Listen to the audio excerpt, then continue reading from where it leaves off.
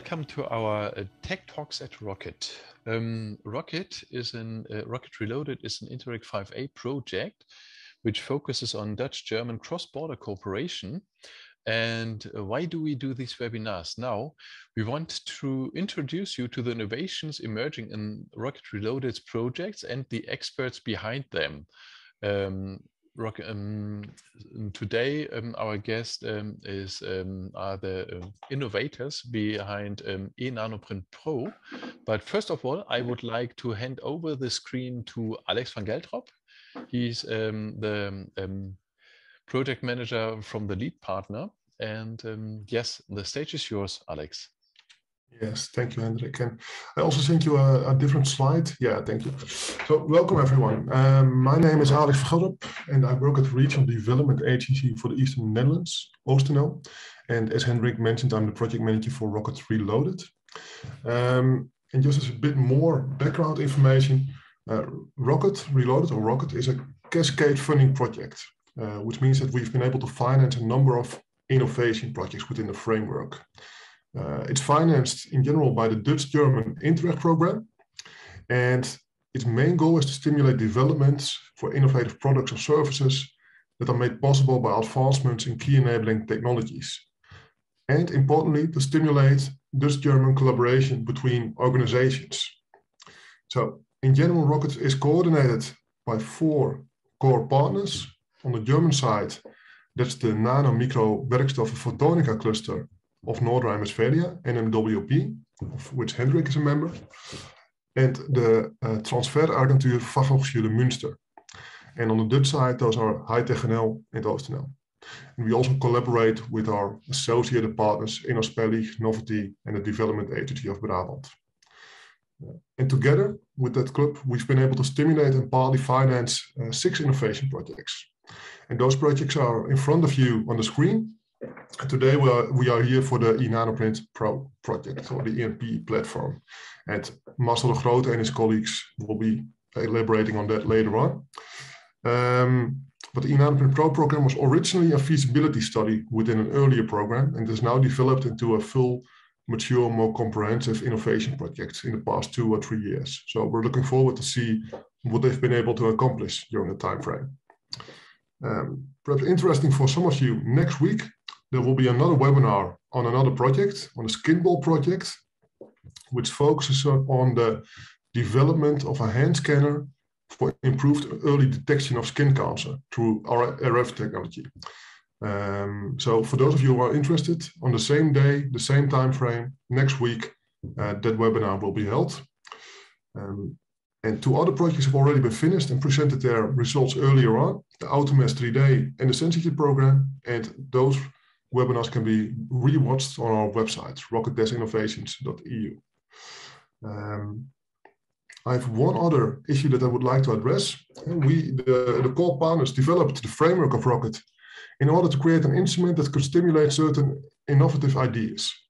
Uh, but we were only to able to do that successfully because of our connections with innovative companies and their inputs, uh, roadmaps, challenges, etc., to, to help us build that framework.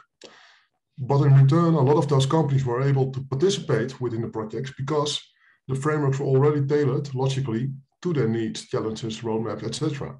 So in general, the invitation that I would like to extend to everybody listening is that if you're part of an organization that has ambitious, innovative goals for the coming years, feel free to reach out to, to either me or one of our colleagues in this webinar and we can get acquainted, discuss ideas, and see if we can support each other on the short or middle term and see what is possible, uh, just like we did with the six projects in front of you.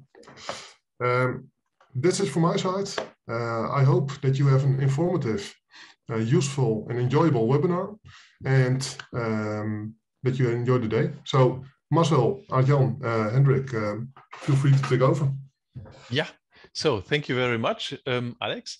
And now, Arjan, um, if you would like to share your screen, um, you can start your presentation. All right. Let me share our screen here. Just a moment, please. I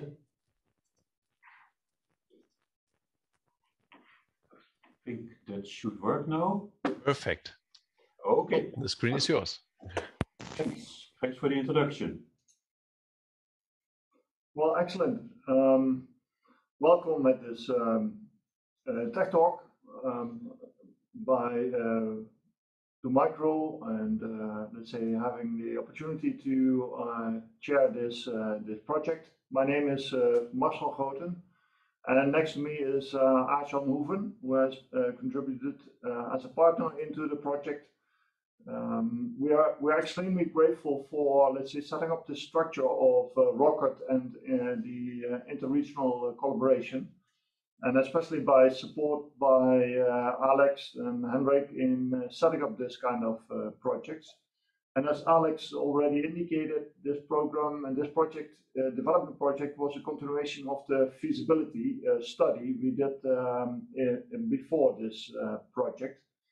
And actually, the feasibility was initiated by discovering the um, electrospinning technology as being one of those emerging technologies that could be applicable for microelectronics uh, um, applications. And uh, this triggered the feasibility study. And after the feasibility study, with some, some let's say, uh, literature and also some uh, benchmarking and doing some laboratory experiments, we um, we, we created this project project together with our partners in in Germany, uh, Microtech and Coatema, for uh, developing uh, the next step uh, from, let's say, feasibility into functional modules and into a prototyping activity. And this is what we're going to present in this presentation. Maybe can give the next slide? Uh, so as, as I told before, so the German partners Microtech and Coatema contributed into, into this consortium together with uh, uh, Tech2Biz, which is in fact is Arjan's activity, and also TechV, which is a system designer specialist within our network in the high-tech um, Brainport region in Eindhoven. And then being supported by Alex and OOSTNL and, and others, giving really tailwind in financing this, this innovative activity. Um, here you can see, let's say, the consortium as such. So we had the honor to, to lead the program. Um, the um, Microtech typically is a specialized company in Duisburg uh, on uh, 3D structures and manufacturing of microsystems. Coatema uh, is this um, innovative uh, company on roll-to-roll industrialized equipment and having an R&D center in Dormagen. And Tech2Biz, which is Arjan, in fact, is specialized in international project management and also has a lot of experience in market uh, analysis and development in display and semiconductor. And as uh, last but not least, uh, TechV, which is actually a specialist uh, on arm's length from DoMicro, uh, responsible for design and engineering uh, of systems and uh, printer systems. So with this with this consortium, we addressed um, the uh, the project and the program, and um, so continuing, I can I can tell you a little bit about e-nano printing, why we were embarking upon this technology, uh, what we needed to do to create a you know a solution for that, uh, what we have learned and what results were yielded from the project up till now, and obviously, we can close with uh, the perspective and next steps for future uh, developments. Now, the e-nano printing project and the feasibility study actually was about um, embarking upon electrospinning uh, and electrospinning creating uh, nanofibers or nanowires. And um, as I learned in 2016 on a conference, uh, the uh, nanofibers, the nano, nano um, wires as being generated by electrospinning technology was already studied in research for about about a decade. Um, and um, I learned about this technology um, only recently, let's say converting nanoprinting for, for other applications rather than research. So It could be used for, for batteries or in photovoltaic applications. There is a room for, let's say, nanofibers also in display and in microfluidics. So in general, also for electronics and semicon, nanofibers obviously are, uh, you know, of, of importance. And last but not least, even in, in biochips, uh, I've seen a um, presentation and you can see the, uh, the image for that, that even nanofibers, which are useful for being scaffolds in cell structures, also could be used for interconnection with our nerve systems and in future could, could then be a connection for bioelectronics uh, stimulation. Now, the nano uh, fibers could yield and could be a, a, structural components for filters or membranes in these applications.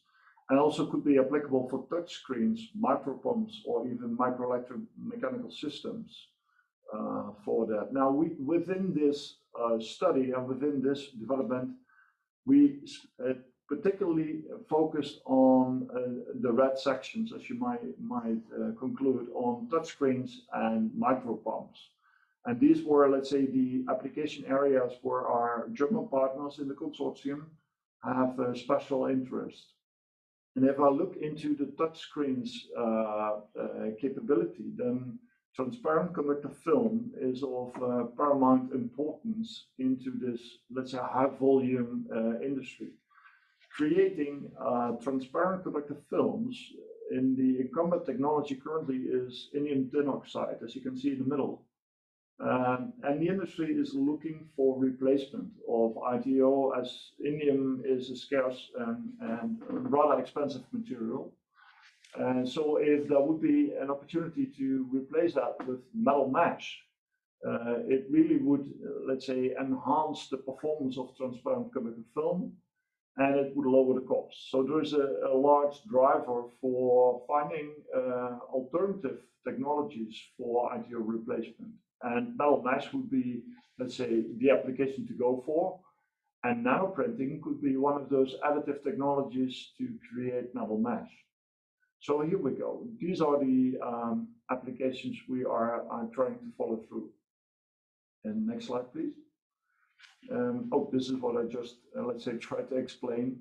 Uh, there's a large potential on uh, uh transparent conductor film, the replacements of ITO, and uh, creating a large area capability also, let's say, from a performance point of view. Next slide will also indicate the, the second key application, which is in fact the micropump for biological and uh, inside medical uh, body implementation. So Microtech already had developed a prototype for a microfluidic pump based on this, uh, let's say, wires um, uh, structure, as you can see on the on the picture. And the ambition would be to create a very small pump, a very a very small pump uh, that could be feasible if we would be able to print microstructures or nanostructures, even submicron structures, uh, yielding a, a pump functionality. So this is the, the second key application the project was focusing on. Now, the electrospinning technology actually uh, is also called uh, electrohydrodynamic printing. And the electrohydrodynamic printing, in fact, is, uh, uh is a near field electrospinning. So regular electro electrospinning technology, which already exists for more, about 100 years, was used for, let's say, creating fibers and typically having a distance from the needle tip to the substrate of about 300 millimeters. Uh, if you spin on 300 millimeters distance at high voltage, let's say 30 kilovolts, you get a randomized uh, fabric.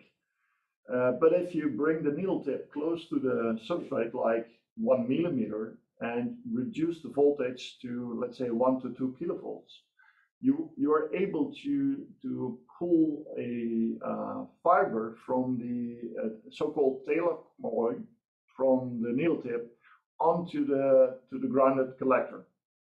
Now, this uh, voltage then only works if the polymer solution uh, is um, um, not conductive. So it should be able to have a uh, ability to to repulse electrostatically, and by doing so, you know, elongation of the fiber. So this is the way the fiber is being pulled from the needle tip uh, onto the grounded collector. And then uh, several parameters are influencing this technology or this, this phenomena, like the viscosity of the polymer solution, like the height, like the uh, electric field strength, but also the, the speed uh, difference between, let's say, the substrate and the needle tip. So the higher the speed, for instance, you know, it pulls and elongates the, the polymer jet from the needle to the substrate. And by doing so, you have this direct write patterning capability of near field electrospinning. And this is what we called uh, electrohydrodynamic printing. Okay. Now, to be able to um, follow through on this process, you need a printer.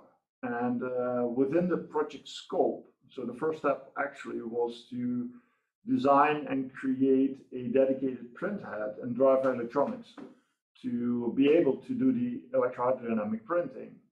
Um, so what we did within this project was design and engineer uh, the print head with the, the specific uh, features, needles, uh, and what have you to create this jet and, um, and put that into an existing uh, laboratory setup for printer, a PixDRO LP50 uh, setup where we could demonstrate at least uh, the first process results. This is what we did for creating the pump prototypes and next to that, we also integrated within the project on a uh, roll-to-roll environment at Coatema in Dormagen, the integration of the printhead module and the system electronics into a industrial art, um, research roll-to-roll um, um, test environment. Now, here you can see what we developed uh, through the course of the project. So we created a first prototype module of the uh, print head. At the left, you can see the, the, the framework and the body uh, holding two syringes uh, with driver motors and, and electronics. And you can see the red cable, which actually is applying the high voltage to the needle and being insulated from the frame. Um, now this high voltage is being applied by the driver electronics, as you can see in the second picture. And in red, you can see that the high voltage drivers with the uh, microcontrollers and the electronic interface uh, for uh, for driving the motors and uh, doing the human interface uh, with the with the printer. And on the right, you can see, let's say, live the nozzle being operational with a print jet. And the nozzle is actually, in this case, we implemented a double needle system. So we can print a coaxial uh, fluid where in future we can implement, for instance, silver ink or silver nanoparticle inks in the core and then apply a polymer shield um, on top of that to create the uh, elongation and, and repulsion on the on the jet uh, fiber. Next sheet, please. Here you can see what we what we then did, and uh, by doing so, having a setup or prototype for a printer creating conductive wires. Now, for creating conductive wires in your application, you can follow several strategies. One of those strategies is to print uh, etch resist, or at least a polymer, on top of a, um, a metallized substrate, uh, substrate, and then use the the, the uh, printed um, fibers as a mask for creating and then etching away the metal, metallic film, um, you know, removing and stripping the uh, polymer layers, and you got your metallic uh, nanowires or your metal mesh. So this would be one way of doing that. And another way of doing that would be to, and this is why we got the coaxial wires or needle, to create a coaxial uh, stream or jet where the silver nanoparticles would be internal into a shielded polymer. Now it's obvious that uh, driving a silver ink or silver nanoparticles would immediately shortcut the high voltage uh, from the needle to the substrate. So the, the, the, the sheet uh, polymer should then uh, protect this um, electrostatic field.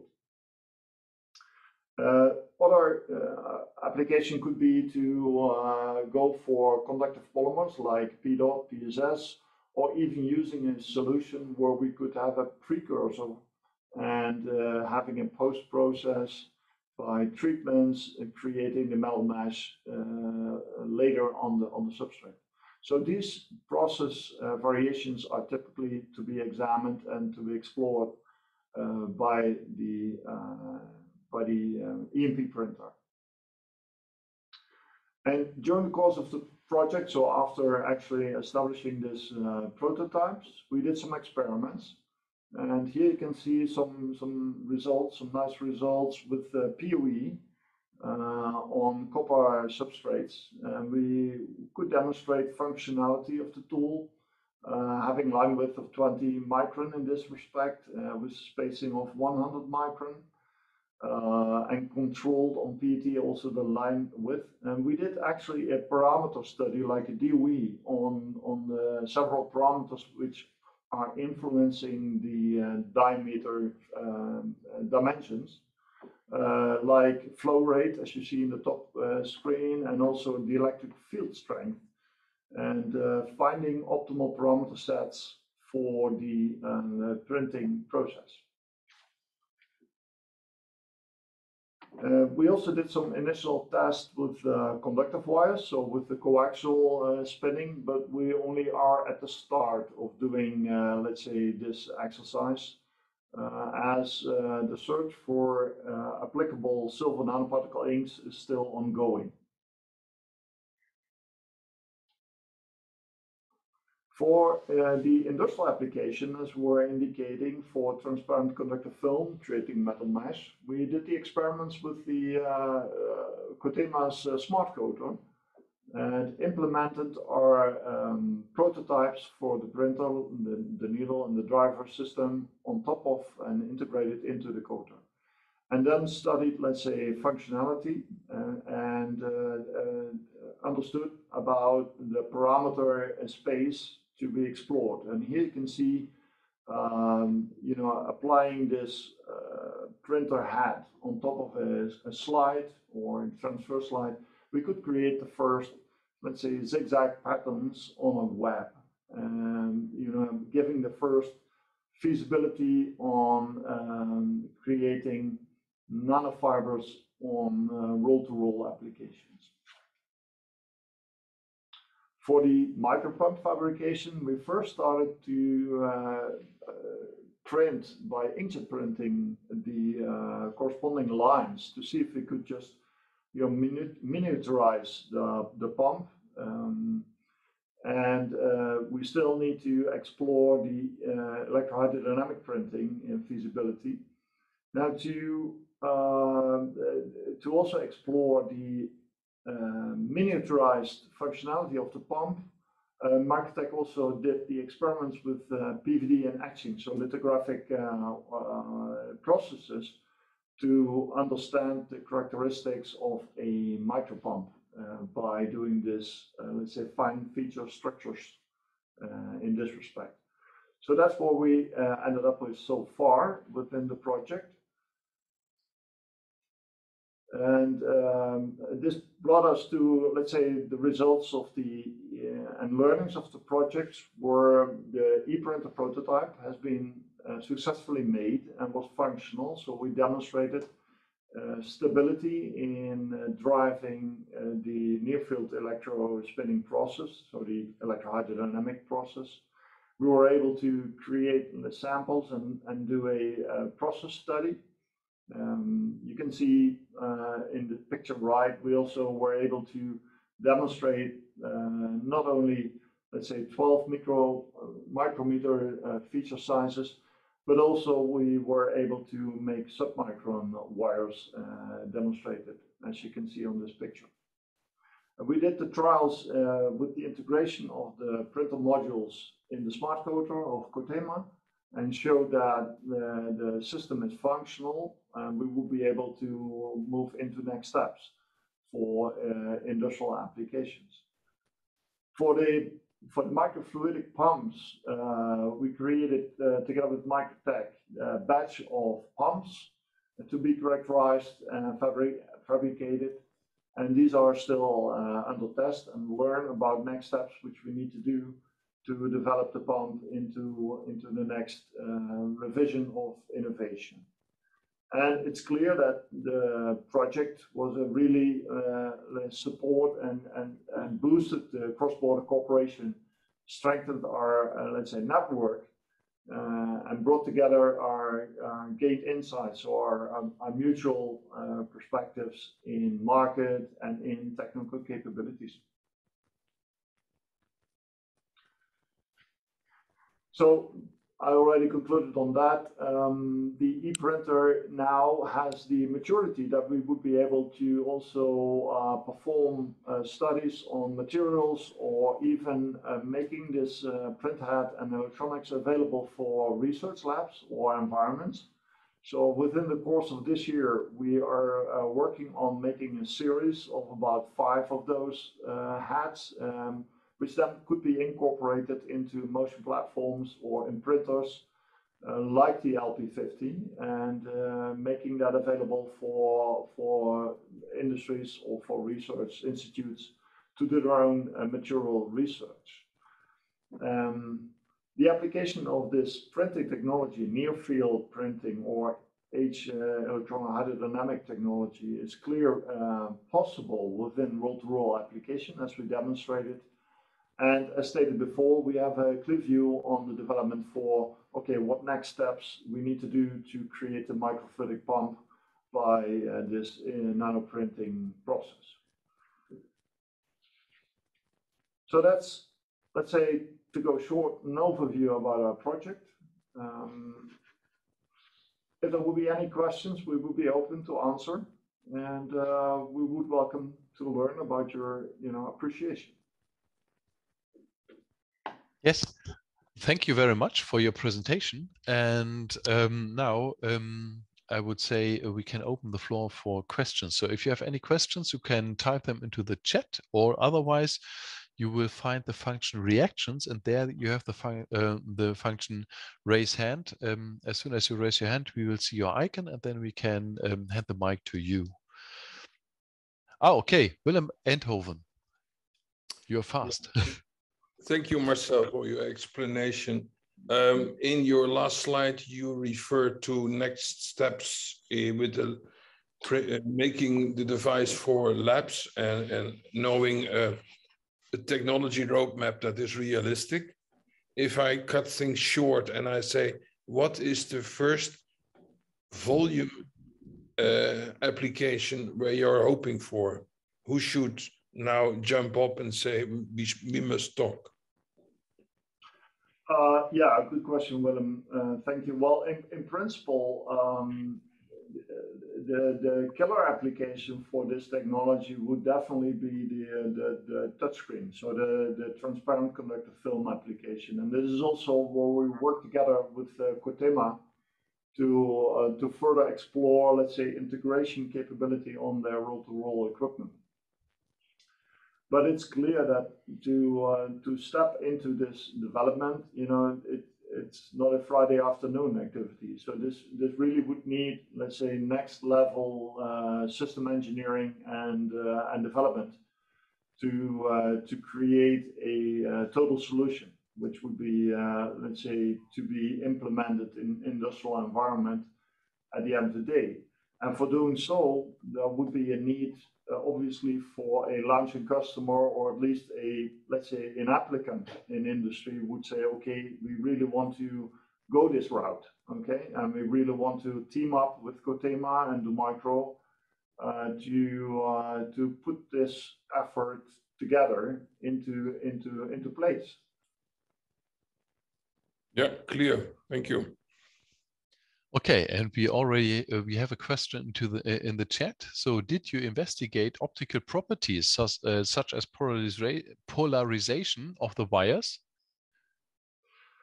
Um, yeah, good question. No, not yet. Indeed, uh, this would be, let's say, next steps to go. So, um, based on research, uh, actually from Dow, where we uh, connected in the early days and also learned about this technology from them uh, they did studies on, on haze and transparency based on, on silver uh, metal mesh, which they you know researched on on this technology, um, and uh, they showed uh, pretty high uh, capabilities, uh, like you know um, one um, haze, 95% above 95% transparency of this of this fibers.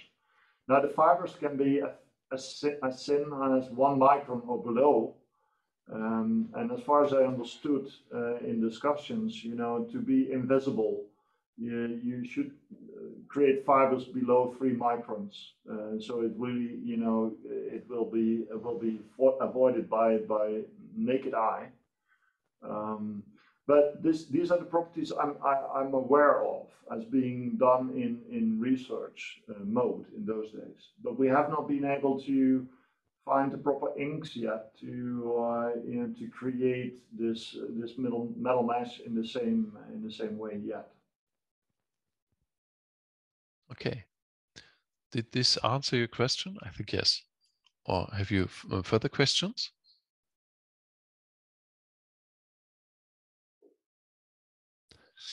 Mm, partially okay let's keep in touch. Sure okay.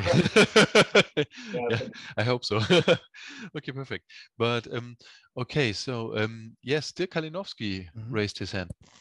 Uh, only one question. You've mentioned um, always the silver as your material for uh, the nanowires uh, and uh, that you started with that uh, do you expect that is also possible with uh, gold or other materials or uh, what do you need for uh, that? Is it a material that you produce by your own um, that you need for uh, your printer or is it something that you buy?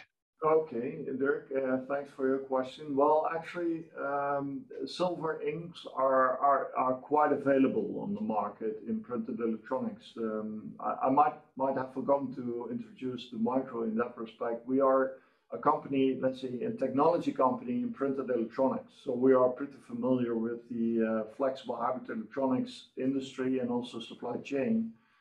Uh, silver inks are abundant available from several uh, uh, brands. Uh, silver is, uh, is, is a nice material since it's not so costly and um, you can handle with that in atmospheric circumstances. So you don't need, let's say, high temperatures or nitrogen environment or inert environment to, to treat. So it's, it's a very friendly material to work with. Um, sure there is other other materials as well uh, like uh, the, there are also copper inks available but then you, you really need to take care about um, about the oxidation problems with uh, nanoparticles of, uh, of copper. Um, the gold is going to be more expensive um, to give in, and, and we even have platinum ink uh, nanoparticles platinum ink but that, that's extremely expensive actually. So so silver is a is a moderate, you know, uh, uh, abundant available uh, material which can be applied for this uh, applications. We don't we don't uh, formulate our inks ourselves, so this would be something to reach out for and see if we can find, let's say, partners to collaborate with and, and find appropriate materials to do this uh, to do this nanoprinting uh, process.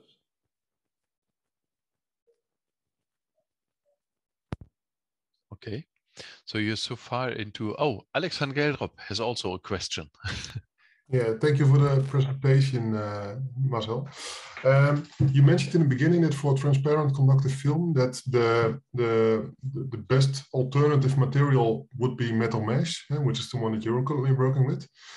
Um, I was wondering, uh, are there competitive methods of, of people trying to integrate it, uh, integrate it, or is there really at this point no one else that that that has an, a serious idea to integrate this material within the conductive film?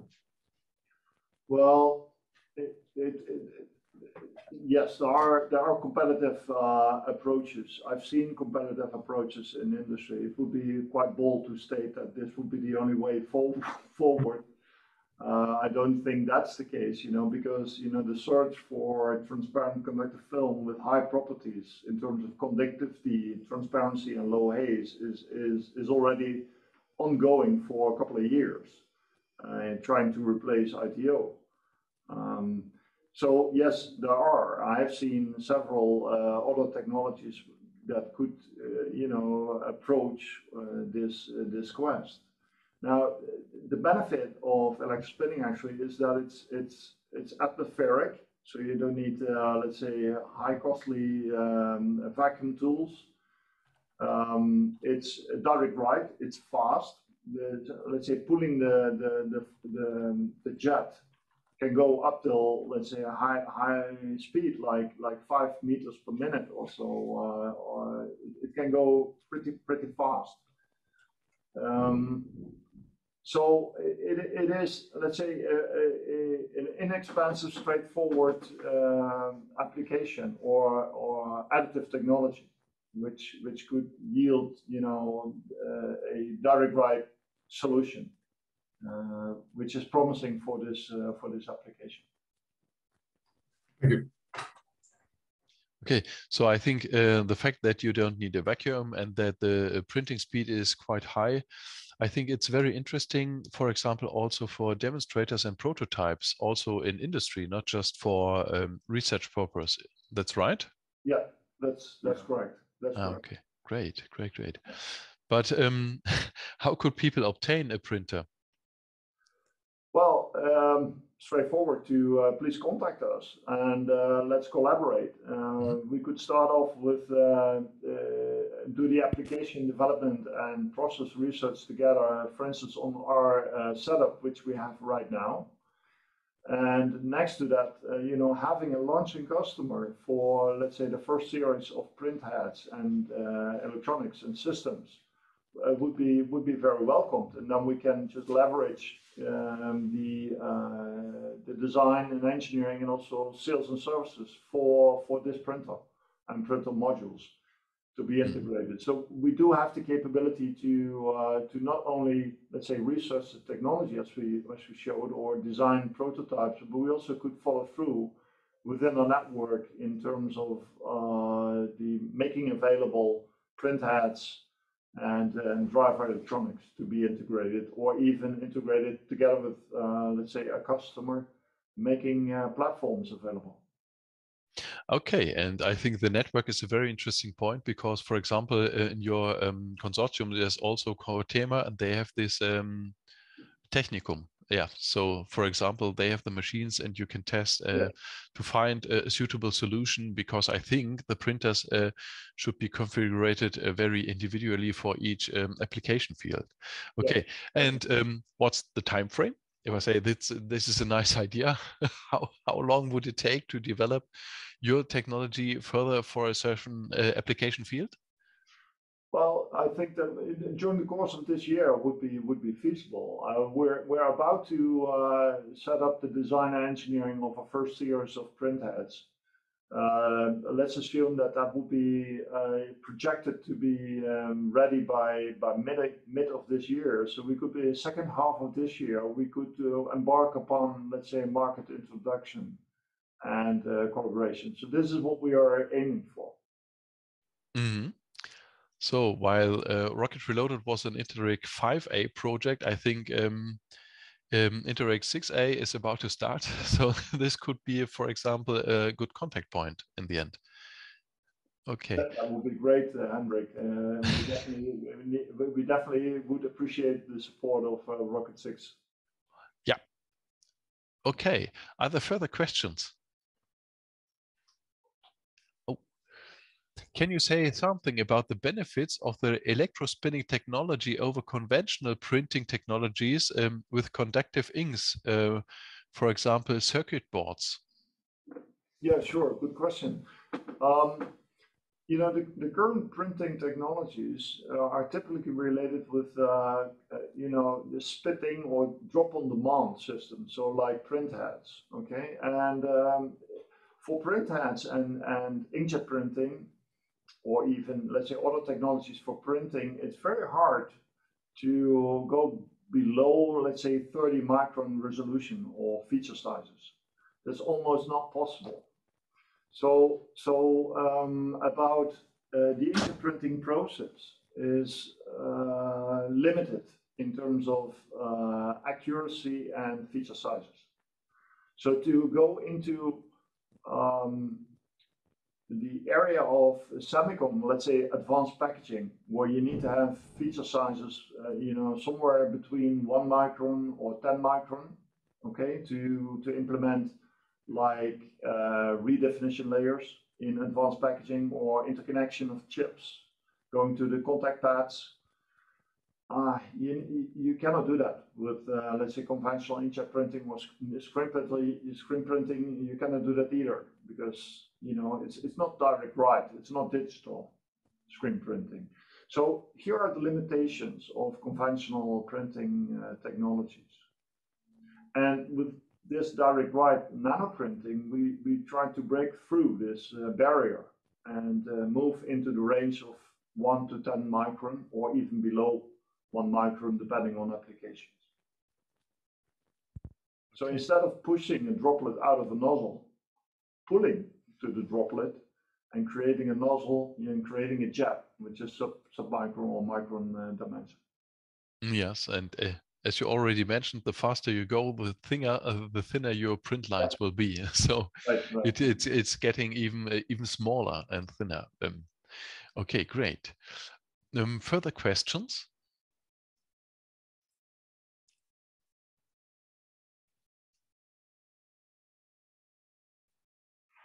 Okay, the last question was answered. Okay, this is great. Um, but do you have any further questions?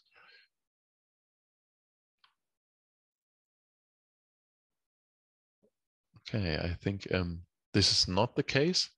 So um, I think I will um, send a follow-up email and I can put your contact um, into this email so that uh, if there are any further questions in the future, that they can contact you.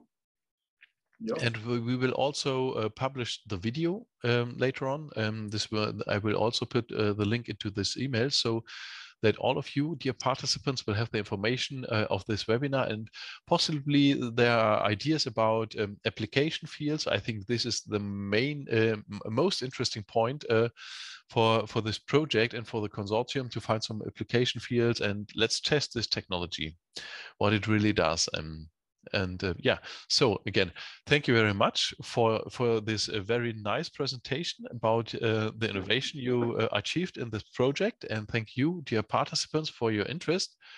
And um, as um, alex already mentioned maybe we will, we will meet again um, next week. Uh, then it's about um, skin cancer detection um, by photonics. Um, so thank you very much. Have a nice evening and hope we will meet soon Thank you, Hendrik. Bye bye. Thanks a lot. bye bye Thanks thank a you lot. Bye. Bye bye. Thank you. Bye. Thank you. Good evening.